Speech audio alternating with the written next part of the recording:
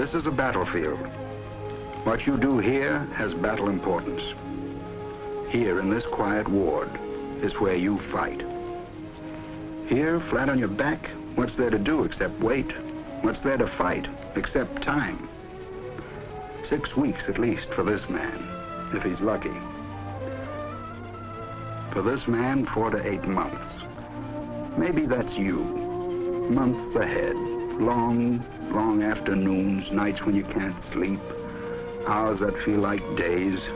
Days that hang on like weeks. And then there's the ceiling. Nice white ceiling, plenty of time to count every nail, every crack. But that's all. That's all there is. That's what you think. Brother, look out the window. What's going on here? Is this a hospital? Yes, it is. But there's something new in this hospital. Not just medical equipment, but an idea with a punch and a bounce. An idea that'll lift you out of bed into the sunshine. It's a plan. A plan that works. It begins today with you. An officer will come in to see you on your first day in the ward. He's the convalescent training program officer.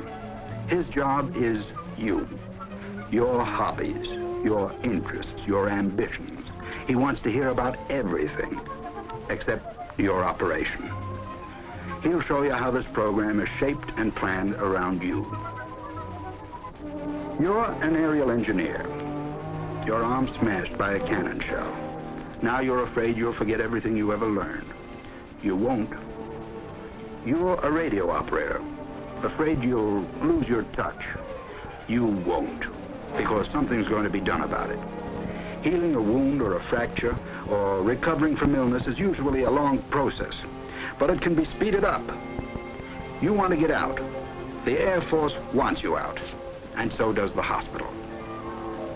Well, this program is aimed at getting you out, healthier than you were before. It's going to exercise your body and your mind, not just for a couple of days or a couple of weeks, but from the day you start to convalesce. You're going to get healthy faster. Here are the facts. Careful studies were made of patients with all kinds of illnesses to determine the time needed for convalescence. For example, a study was made of two groups of soldiers hospitalized with virus pneumonia. One group was given the benefits of the convalescent training program, the other wasn't. Here's the group that did not have it. They averaged 45 days of hospitalization, and 30% of them had a recurrence of the illness and had to come back to the hospital. But the other groups, the ones getting CTP, averaged only 31 hospital days and only 3% of the cases recurred. Here's how the program works. Here's how it starts with exercise. However, it's not just exercise, but special exercise for what you particularly need. If you're weak in the head, this won't do much good. But if you're just physically weak, this'll put your muscles back to work. What, calisthenics again? Can't a guy go brick in peace and quiet even in a hospital? well, he can, but he'll slide back physically and mentally. Of course, going the other way, going uphill, is hard, and it's slow. And at times it may be painful. Your body's been hurt. It's afraid to move. Those slashed muscles, those fractured bones, those torn and lacerated nerves, shouldn't you let them alone, let them rest? Let nature take care of them? The answer is no. Here's the scientific reason. This is the portrait of a muscle. Poor old muscle. Wasn't exercised during months in bed. The fibers have shriveled, fats accumulated. The muscle's weaker than army beer. Now let's consider another picture. The whole circulatory system of the human body. Remember that the heart is a muscle too. It pumps blood through the arteries to the tissues of the body. The tissues, especially torn tissues and wounds, need all the oxygen and nourishment they can get. The bloodstream brings it to them, and then has to carry off the waste matter, back through the veins to the heart and the lungs. But by now the bloodstream is slowed up, so the veins need help from the muscles surrounding them. The muscles contract, press against the veins, which are like rubber tubes, and help squeeze the blood through. But muscles don't stimulate blood circulation automatically. You've got to work them yourself, which brings us right back to exercise.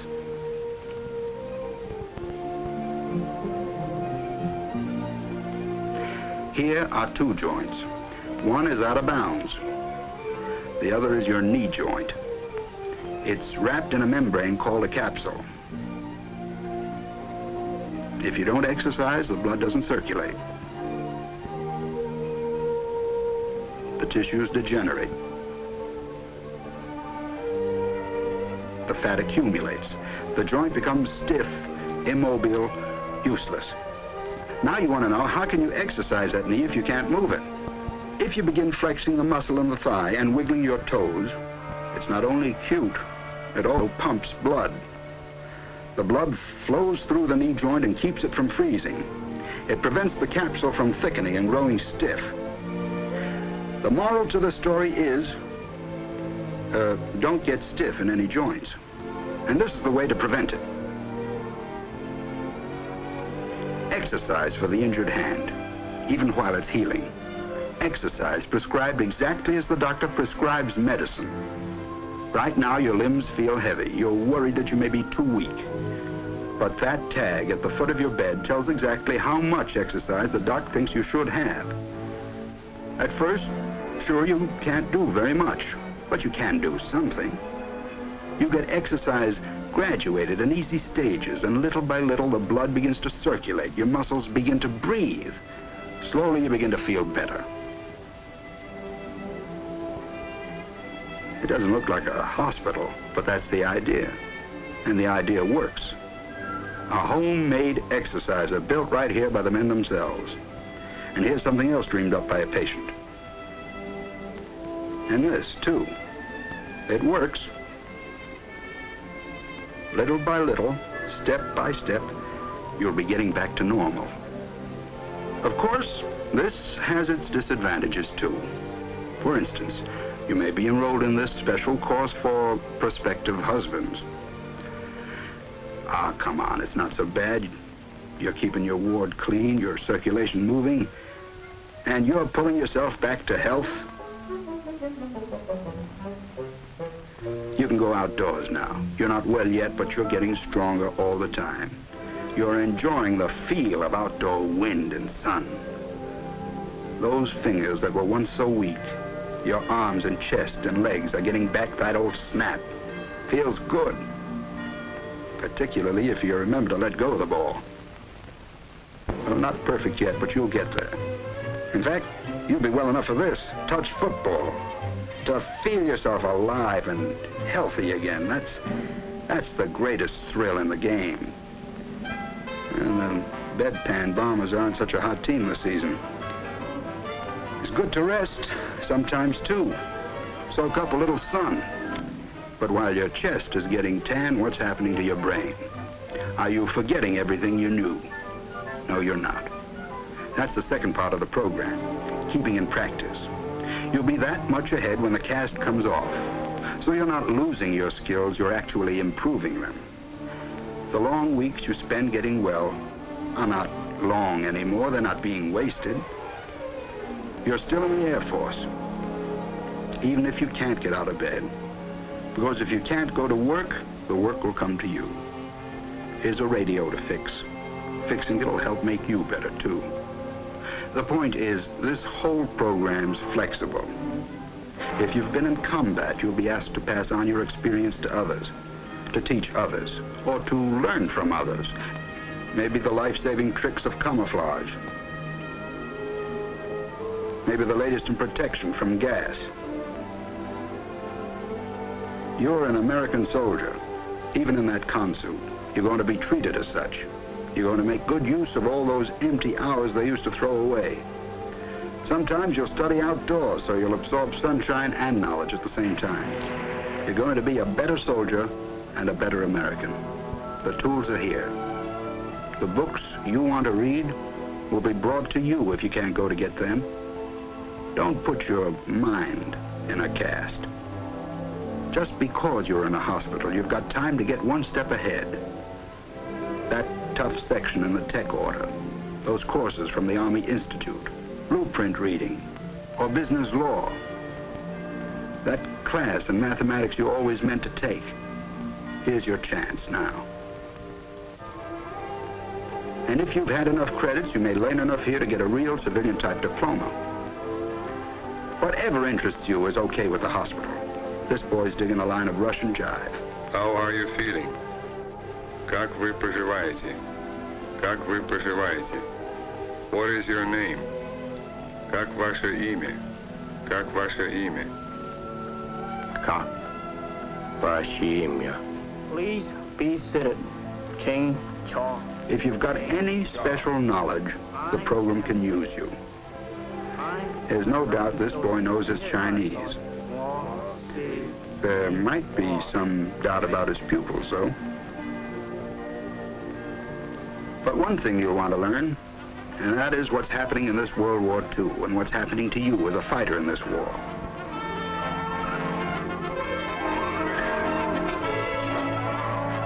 Argue it out. It's important. One thing, hospital discussions can go just so far because nobody's really in good enough shape for a fist fight. So, talks and study, exercise and rest are doing their job. You're getting better. You're looking forward instead of back. Movies. What'll it be today? Maybe it's on airplane propellers, maybe on the war in China. Maybe that new picture on how to ditch and live. We'll see. We know now that the whole man has to get well, not just part of that man. You've got to exercise not only bone and muscle, but mind and spirit. If you're interested and busy, you'll get well faster and learn in the process.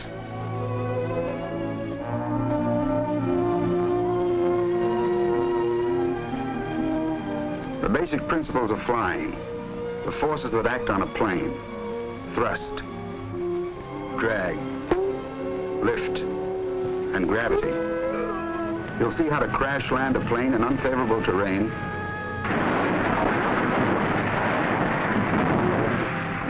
and live to tell the tale.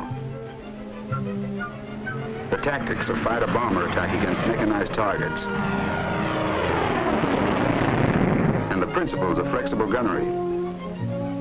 Uh, paper paperboy, deflection over here on a bicycle. Yeah. Just remember, the deflection is always between the target and the tail of your bomber. But you have to make I've about... got it, I've got it. Now watch this. Between the Joker and my own tail. Let's see, about here.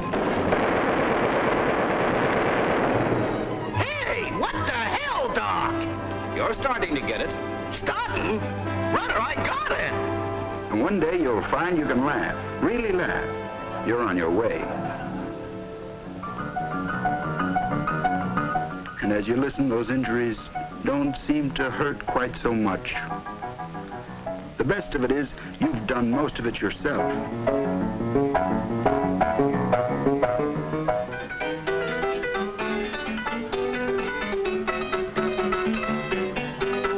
Maybe you've had a hand in this epic of love under the mortgage.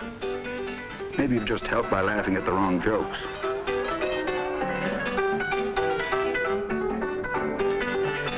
Corny or not, if it helps you, it helps the Air Force. It's yours personally. The whole convalescent training program. And if you've got any ideas, don't be modest. Let's have them. They may help somebody else get well.